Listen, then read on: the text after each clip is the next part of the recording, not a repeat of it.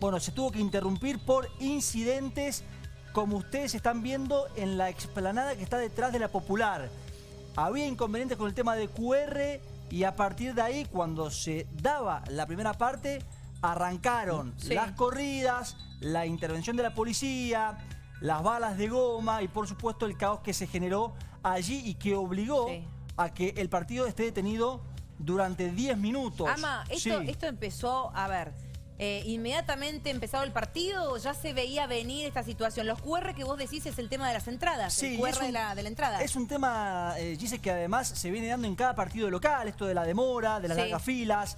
De hecho, bueno, de la Subsecretaría de, de Deportes eh, hablaban que era algo del tema de seguridad, no algo en sí de la cartera que maneja el estadio Sí. eh, y del club, obviamente. Y bueno, esa es una queja que han tenido siempre los hinchas de Godoy Cruz cuando han ido en estos últimos partidos a ver a su equipo allí al estadio provincial. Allí, como ustedes están viendo, se dieron estos incidentes, estos cruces con la policía y lo que decíamos, la necesidad de tener que parar el partido, 10 minutos, después se reanudó Sí. en un partido que en lo deportivo Hace minutos queda nada más, nada, no hace nada se Cinco reanudó. minutos. Ahora, Mario, vivo. ¿qué hace esta Sí. gente a- ahí afuera? ¿Por qué se han retirado de la tribuna? Está en la parte que, para el que no conoce el Malvinas, es la previa a poder ingresar a, a las gradas. Claro, es ¿Qué están haciendo ahí? Es la antesala de cuando haces el camino, ingresas por la popular y te metes justamente en, en la cabecera. Claro. Allí se da, porque había gente que obviamente no tenía para ingresar, el tema forcejeo, el tema esto de ingresar igual, y acá el enfrentamiento con la policía, después interviene la seguridad privada, eh, hubo que, como ustedes están viendo,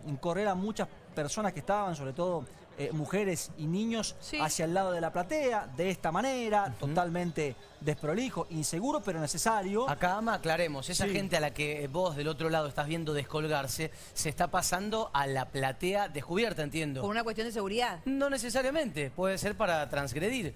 Ahí estamos viendo. eh, a- o esto sería para Porque la cubierta. niños. A la No, no, cubierta por- porque vienen hacia la a la derecha. cubierta, Pero claro. recién veíamos del otro lado, por Sí. eso lo planteaba. ¿Esta gente se está, se está pasando con la anuencia de la policía o no? Están cruzando justamente por lo que, a ver, por un tema de seguridad, ¿no? Para Niños cruzarse y, para claro, que. han abierto, han abierto. Exacto, y para que salgan de cualquier tipo de peligro en la popular. Miren Sí, lo que ahí sí, se sí, ve sí. claramente en la imagen de la izquierda. ¿Ves? Estos no, estos se estaban descolgando. Esta es la transmisión de la, de la televisión. Exacto, a la izquierda nuestra No sé, porque cámara. ahí están pasando, mira, los niños. Sí, los Claro, pasa por un sí, tema de seguridad. razón. Claro, un tema Eh, de seguridad. Digo, no- no es la forma más prolija ni No. segura, pero es, como decíamos, necesario entre la urgencia.